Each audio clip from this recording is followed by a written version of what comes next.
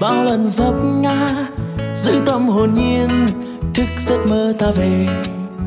Đời không cho nhiều, mà lòng chẳng thiếu. Nghĩ chi trả vây, nếu tim còn yêu, trời luôn mơ nắng. Biết yêu thương mình là biết yêu thương người. Một lần cho đi, muôn đời ta mãi có.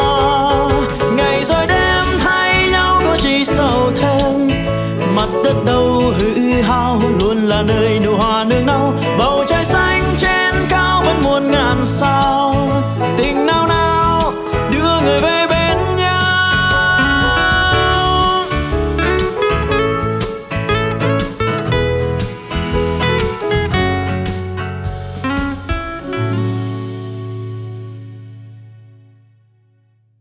Cầu trời phù hộ cho nội con tai qua nạn khỏi Cô ơi Cô Mau ra đây làm cho Đăng Cô ra ngoài mọi chuyện đi? Tôi hỏi cô một lần cuối Cô có chịu giao tài sản ra không? Câu này phải để tôi nói với cô mới đúng. Tôi cho cô một cơ hội rút lui Trước khi tôi giặt mặt cô. Dì sẽ giao lại toàn bộ tài sản của nội Cho một người quản lý.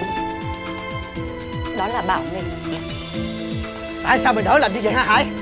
Ủa? Con gì nào vậy? Dì và mẹ đang diễn trò gì vậy? Con nói gì gì không hiểu à? Mẹ sẽ không đưa cho dì được nhiều hơn số này đâu Gì đã mất đi đứa con ruột của mình. Và vĩnh viễn Không còn khả năng nào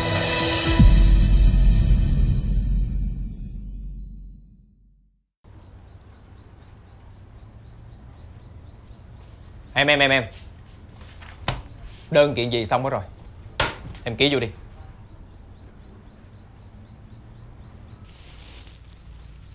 Con hãy ký vào đây đi Em không ký. Nè. Ủa Em tính phải nhìn thấy anh ngồi tù em mới hả dạ hay sao? Em sẽ tìm cách trả nợ cho anh. Em không muốn vì tiền mà cả nhà kéo nhau ra tòa như vậy. Cái này không phải vì tiền Mà là vì công bằng. Vì lẽ phải. Gì vậy em? Hả? Tại sao những người ăn chơi như cha con của Dượng á Thì được giúp đỡ? Còn vợ chồng mình bị bó mặt Tại sao? Cái gia sản này á, Nội con đã chịu cực Chịu khổ Để dành dụm lại cho tụi con. Tụi con không thể nào để rơi vào tay kẻ xấu được. Cho nên Em ký vô đi. Con hãy ký vào đây đi. Ký hay không á, gặp một người rồi quyết định.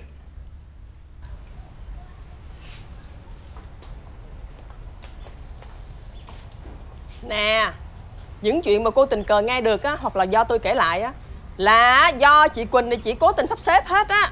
Chỉ là muốn chia rẽ cô với lại con Tiên Rồi gài cho cô là đón chỉ về đây sinh sống nè. Rồi từ từ á, mới tính cái chuyện tranh giành gia tài. Nè Cuối cùng cũng lòi cái mặt chuột ra rồi.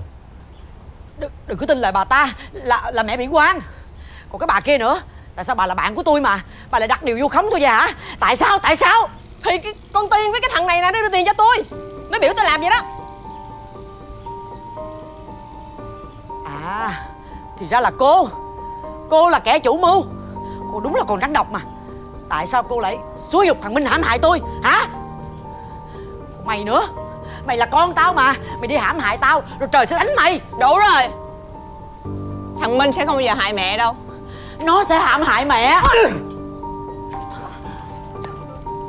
Ồn ào.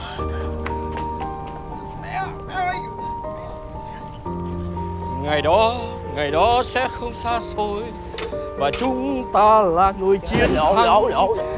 Lộ cái gì? Chết rồi chạy đại đi để nó lộ chân Là cái gì? Đại đi Về nhà ăn ngon với Omachi sốt bò hầm. Tương ớt Chinsu Vạn món ngon bùng vị Đặt hàng ngay qua hotline 1900 6869 A An, lành gạo ngon cơm.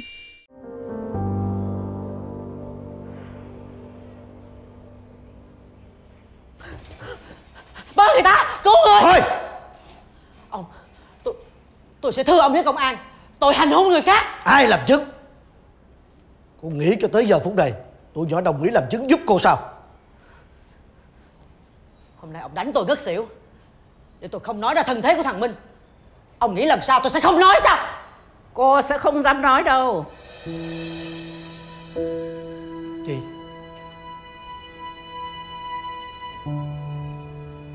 Tôi sẽ cho cô một số tiền Đi khỏi đây đi. Trả lại bình yên cho các cháu của tôi.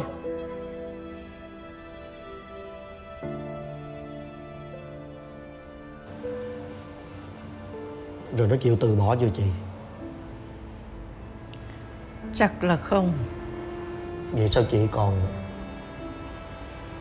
Chuyện của thằng Minh Mình không thể nào giấu nó suốt đời được Chỉ là để người lớn chúng ta. Có thời gian Rồi từ từ nói cho nó biết. Tránh để cho nó bị sốc. Dạ. Cuối cùng Rồi cũng chịu lên đây thăm chị. Chút nữa thì Từ nay Em sẽ lên thường hơn Chuyện vừa rồi. Phải cảm ơn chú. Chị đừng có nói vậy. Không có chị ở nhà. Em là ông chú. Em phải có trách nhiệm bảo vệ con cháu chứ. Anh đang tới gặp bà nội nè. Anh đang muốn biết là có phải mọi người muốn bỏ mặt cho vợ chồng mình chết hay là không? Anh điên rồi hả? Nội mới vừa tỉnh lại đó. Em tới ngoài cổng rồi. Anh đứng ngoài hành lang chờ em đi, vậy nha. Còn phía Còn chuyện của thằng Long Nội. Hay quá. Có gì ở đây? Để con thưa chuyện với nội luôn. Long Đừng có làm phiền nội nghỉ ngơi. Con nói nhanh lắm. Con... Long. Gì làm gì vậy? Mất mới gì sợ con phải nói chuyện với nội. Sợ lộ cái chuyện mày làm bộ vỡ nợ để moi tiền cái nhà này.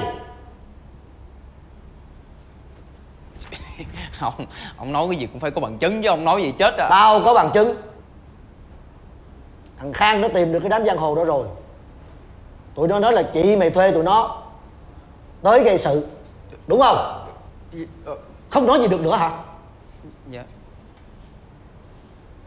Nếu không còn gì để nói nữa thì về đi cho bà nội mày nghỉ ngơi.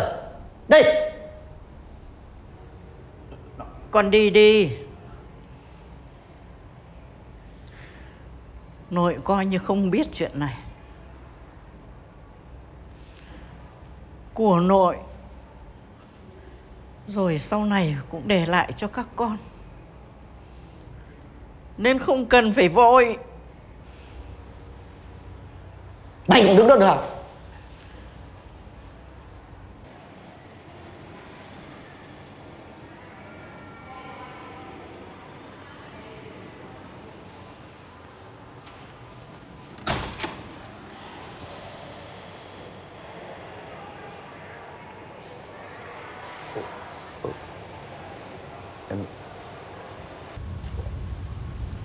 Là xong rồi hả?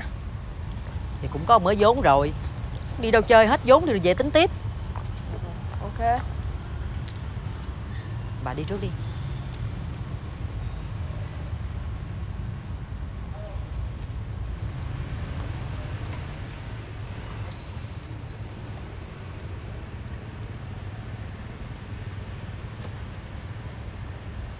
Nếu con muốn nghe một lời giải thích Hay là xin lỗi á Thì không có đâu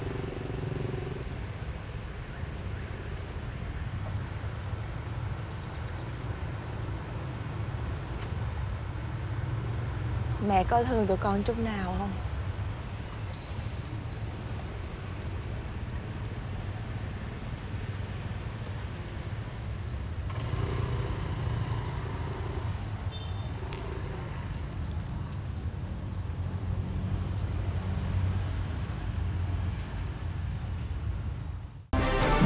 Xem Rap Việt phát sóng đầu tiên trên Vion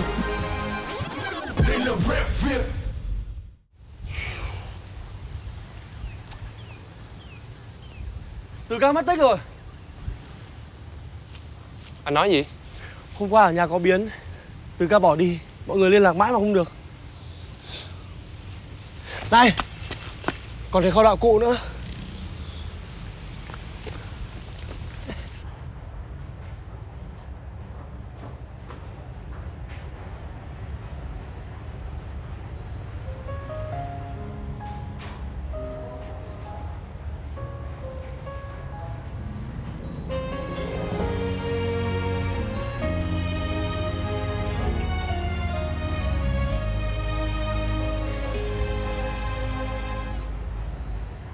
khi yêu ai rồi? Chẳng cần biết bên ngoài nắng to hay là mưa sao. Chỉ cần biết phải chạy rất nhanh để được tới nơi có người mình thương. Khi yêu ai rồi? Chẳng cần biết mai này có vui hay là không. Chỉ cần bàn tay bên bàn tay, bờ vai bên bờ vai không thôi. Tình yêu là những trẻ sống chơi chỉ cần tìm thấy nhau sẽ gần nhau thôi. Và cùng chơi với nhau chẳng hề lo âu ngày mai sau thế nào. Nếu ai đó khóc Có người hứa sẽ dỗ. Ta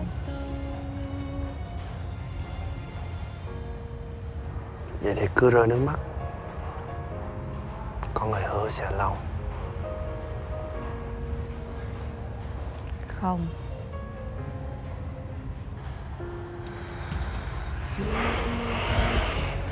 Chẳng cần biết Nếu không muốn người khác nhìn thấy Thì cứ xoay lưng lại. Rồi muốn làm gì thì làm Tại sao lại cứ bắt bản thân mình phải cứng rắn? Khóc đâu có nghĩa là yếu đuối. Cũng chỉ là một cách để biểu hiện cảm xúc thôi mà.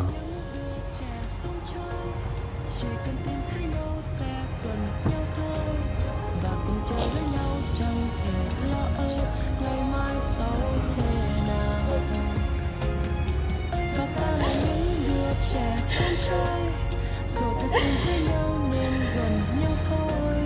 Từ nay ta có nhau chẳng hề lo âu chẳng xa cách đâu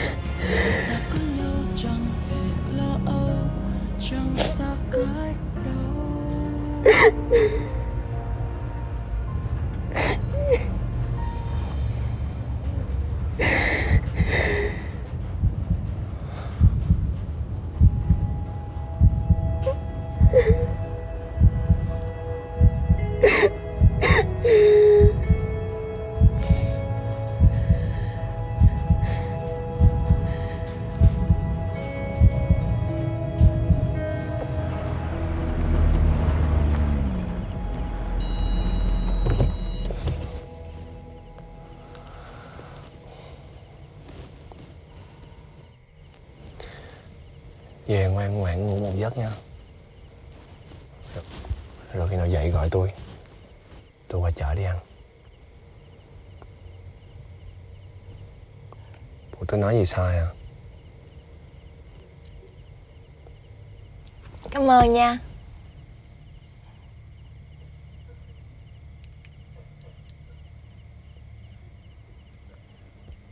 Làm gì mà mặt anh đỏ vậy?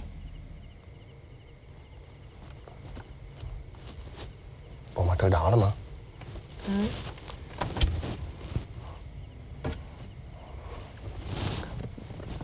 Đâu có đâu Bình thường mà. Thôi đi Đi vô đi Lát gặp. Hử? Lát gặp gì? Ờ mai gặp. Thôi Vô đi. Ok bye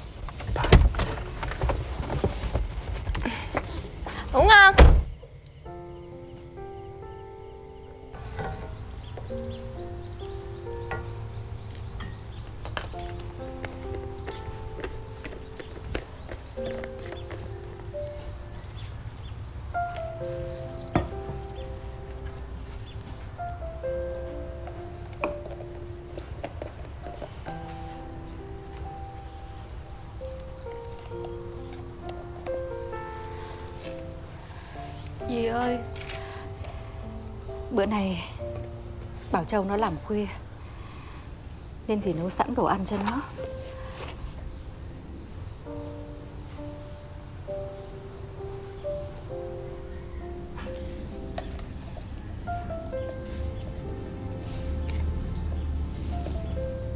Con tưởng gì Không quan tâm đến đứa bất hiếu như con nữa chứ.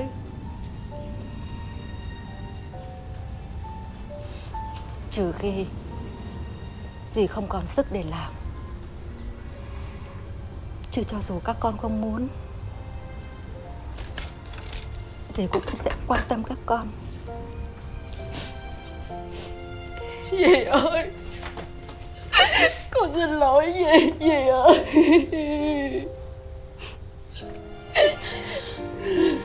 Con xin lỗi. Giỏi vậy?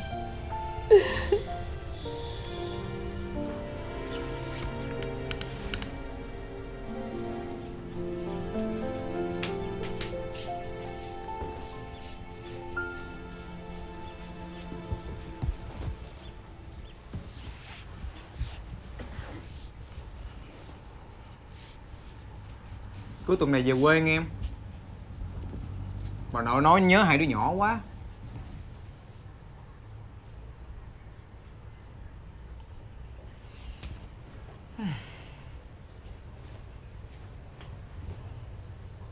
Anh biết là em chưa có ngủ đâu. Bây giờ em đối xử với anh vậy là sao đây? Em đang cố gắng để không phải nói ra câu đó.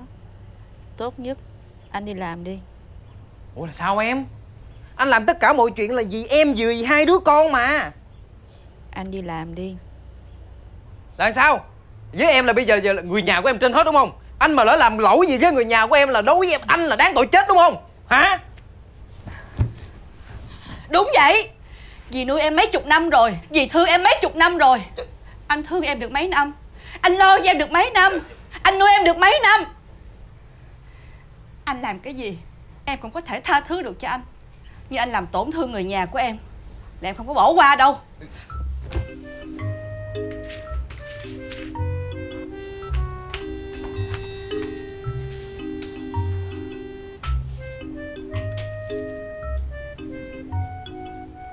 Sao hôm nay mình gan dữ vậy ta?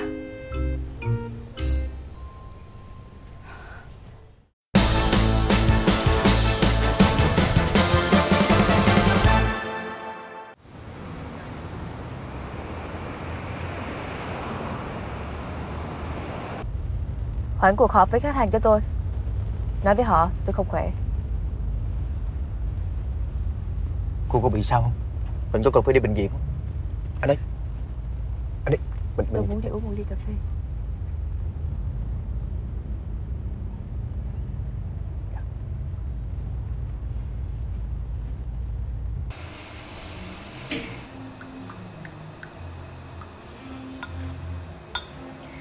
Hình như anh đang có chuyện không vui hả?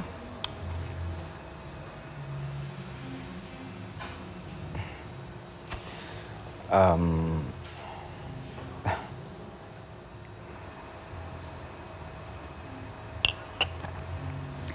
Nếu không tiện thì đừng nói.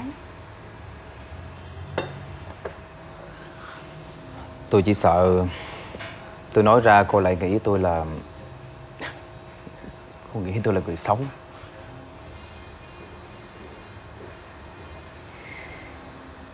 Làm chuyện xấu Mà có lý do thích hợp Vẫn có thể tha thứ mà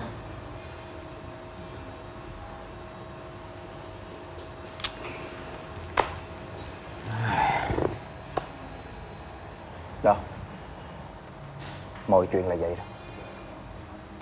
Bây giờ gia đình cổ Có cạch mặt tôi, Hay là coi tôi là cái gì đi nữa, tôi cũng không quan tâm. Nhưng mà Nhưng mà cổ phải hiểu là tất cả mọi thứ tôi làm là vì ai?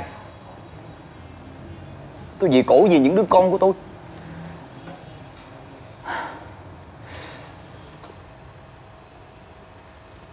Cô cũng có gia đình. Tôi hỏi thiệt nếu như mà cậu Mạnh cũng giống như tôi Cô nghĩ sao? Thì tôi sẽ càng yêu chồng mình hơn. Nếu có ai đó vì tôi Mà bất chấp làm mọi việc Thì tôi cũng sẽ bất chấp mọi việc Để yêu người đó.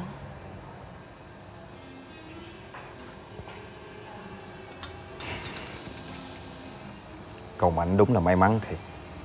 Có một người vợ như cô Đúng là quá may mắn. Rất tiếc là Đó chỉ là may mắn từ một phía.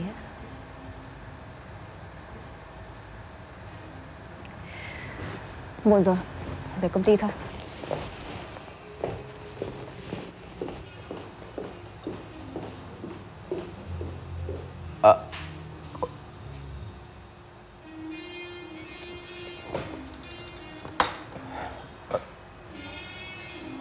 Không đưa tiền lại luôn hả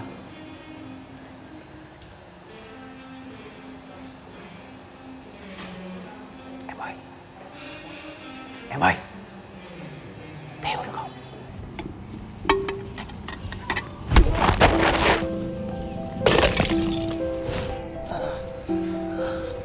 Cuối tuần này có anh chị nào về Sài Gòn không?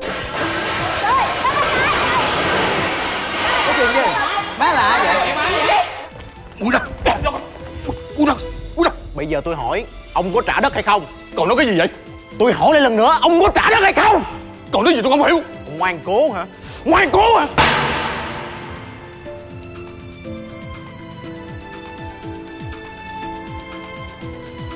Đi vào của em đây Mọi người có sao không vậy? Không sao, không sao cô Các thầy các cô có sao không?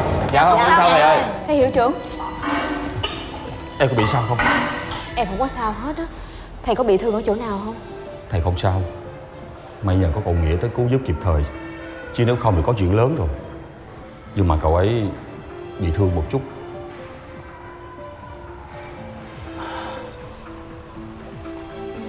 Thứ gì trước mắt thì dọn dẹp đi. Anh yên tâm đi. Tụi em sẽ xử thằng Câm đó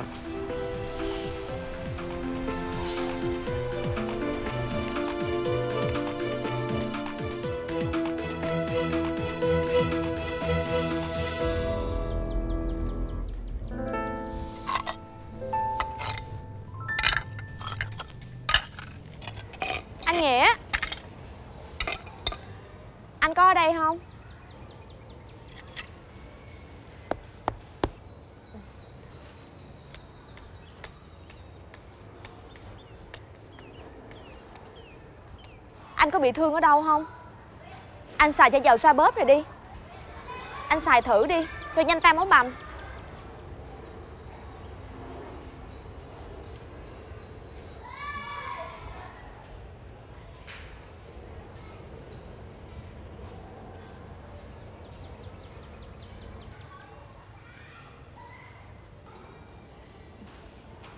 Cảm ơn. Không có gì đâu Anh nhớ xài là được rồi. Cho nhanh tan máu bầm.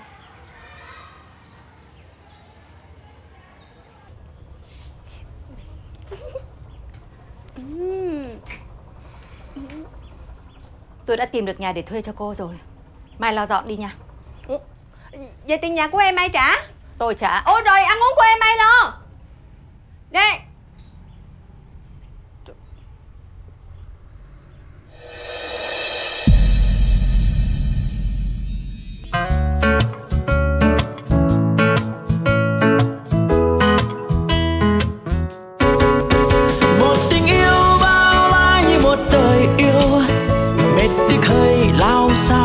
ta chạy quanh chẳng dừng tìm lối. Bầu trời xanh trên cao đang quay về thôi.